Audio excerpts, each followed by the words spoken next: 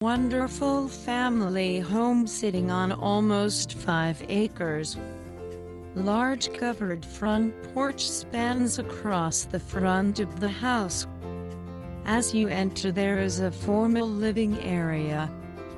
Looking ahead through the French doors you will see a formal dining room that is now being used for an office. Turn left and you will enter into the open kitchen living area. This is a fantastic